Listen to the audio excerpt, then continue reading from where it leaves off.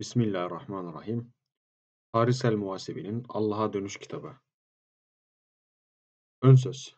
Rahman ve Rahim olan Allah'ın adıyla. Güvencim O'dur. Hatırlarıma sözlerin en iyisi ve en hayırlısı olan Yüce Allah'ı anmak ve Onu övmekle başlıyorum. Çünkü Peygamber Efendimiz Aleyhisselam'dan bize ulaştırılan bir hadise göre Allah'ı anmakla başlanmayan her önemli iş güdük kalır. Bir başka rivayete göre de Allah'a hamd ile başlanmayan her önemli iş başarısız olur. Hamd, alemleri Rabbi içindir. Mutlu gelecek, Allah'a karşı sorumluluk bilinci taşıyan kimselerin olacaktır. Bütün gücümüz ve kudretimiz ancak yüceler yücesi Allah sayesindedir. Peygamberlerin sonuncusu Hz. Muhammed sallallahu aleyhi ve sellem ve onun tertemiz aile fertlerine kıyamete kadar sonsuz selam, saygı ve dualar olsun. Çehreleri güzelleştiren ve yüzleri gözlerle süsleyen, dili açık ve net söz söyleme yeteneği veren Allah'a hamdolsun. Elbette hamd, kumların bile adını her an hürmetle andığı, huzurunda gölgelerin her dem secdeye kapandığı, heybeti karşısında dağların, doruklarının dahi tuz buz olduğu Allah'adır. Öyle bir Allah'a hamd ederiz ki, onun gözetim ve denetiminden hiçbir şey kaçıp gizlenemez.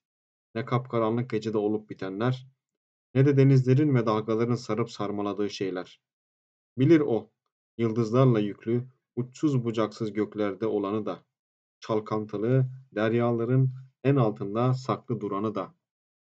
Kendisini yad eden dillere, anılmasının sonsuz hazzını ve zevkini tattırandır. Kendisinin ne yapıp ne yapmayacağı konusunda korku içinde olanların kalplerine de ürperti salandır o. Hükmüne devam edenlere ise nimetlerini artırır. Affediciliğine sığınan günahkar kullarına da merhamet eder. Kullarına karşı hep lütufkardır. O yüzden onların içlerinde bütün o gizlediklerini bildiği halde ayıp ve kusurlarını hep örter. O öyle yüce bir Allah'tır ki bütün olup bitecekleri öncesinden bilir.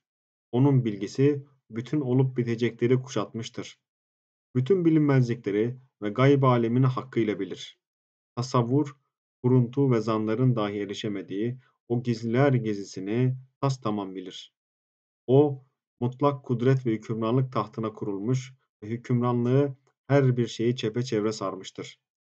Gözler onu göremez ama o öyle yakındır ki en küçük bir fısıldaşma dahi ondan kaçmaz.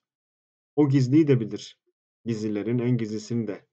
Daha zihinlerinden bile geçmeden ariflerin hatırına şöyle bir geliverenleri dahi bilendir. Ayrıca o, sessizce düşünen kimselerin işlerinden geçenleri de, kelamcıların niyetlerini ve tuttukları yolu da bütün gerçeğiyle bilir. Çünkü o öyle yüce bir Allah'tır ki, onun hiçbir benzeri, dengi ve emsali yoktur. Zaten ortada hiçbir şey yokken, her bir şeyi yoktan var edendir o. Yaratıkları arasında rızıklarını paylaştıran ve her bir yaratığının yapısına göre farklı farklı biçimler ve modeller verendir o. Sayısız varlığı yaratıp var etmek onu asla yormaz. Yepyeni şekiller, yepyeni modeller, birbirine benzemez suretlerle cihanı var edendir o. İnsanların çeşitli dillere, değişik inanışlara sahip olmalarına izin veren de odur. İnsanların derilerinin renkleri kadar çıkardıkları seslerin anlamları da, dillerinin değişiklikleri ve karmaşıklığı da onun bilgisi dahilindedir. Onların kalplerinde gizledikleri de onun ilmi dışında kalmaz. Bütün bu saydıklarımızı nasıl bilmesin ki? Onların hepsinin yaratıcısıdır o. Bütün kainat onun emrinde, onun buyruğundadır. Bütün varlıkların kaderi onun bir ol sözüne bağlıdır. Nitekim Yüce Rabbimiz buyurur, biz ne zaman bir şeyin olmasını istesek ona ol deriz, o da hemen olu verir. Eşi ve benzeri olmayan Allah ne yücedir. O her şeyi hakkıyla işitir ve her bir şeyi en ufak ayrıntısına varıncaya kadar görür. Bir iyilik, bir güzellik çıkarsa ortaya onun lütuf ve keremindendir. Bir musibet görüldüğünde de aslında bu kulun ona dönmesi içindir. Yerde de gökte de tapınılacak tek varlık odur. Bakanların bakışlarından gizlenmiştir ve hiçbir göz onu göremez. Hiçbir idrak ona erişemez. O cemalini sevdiklerini ancak cennette gösterme lütuf ve ihsanında bulunacaktır. Ben ondan kendisine itaat etmesi için beğendiği, mesajını göndermek için seçtiği Peygamber Efendimiz'e salatu selam etmesini diliyorum. Peygamberimiz Aleyhisselam Allah'ın mesajını gerçekten de olduğu gibi iletmiş, görevini hakkıyla yapmış ve Rabbini kendisinden hoşnut etmiştir. Şimdi ileriki sayfalarda Allah'ı yakinen bilme, ahiret yolunun bilgisini edinme, Yüce Allah'a Allah'ın tam istediği gibi yönelip dönme konularını ele alacağım.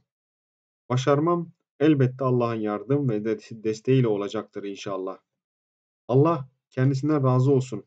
Hazreti Ayşe annemiz Peygamberimiz Aleyhisselam'ın şöyle dediğini haber vermiştir. Beni Yüce Allah'a yaklaştıran bir ilmi edinmediğim gün geçerse o günün güneşinin doğmasında benim için bir bereket yoktur. Bana Dahhak İbni Müzahim Hazretleri'nin şöyle söylediğini aktarıldı. İlmin ilk kapısı susmak, ikincisi dinlemek, üçüncüsü edindiği bilgiyi eksiksiz uygulamak, dördüncüsü de yaymaktır.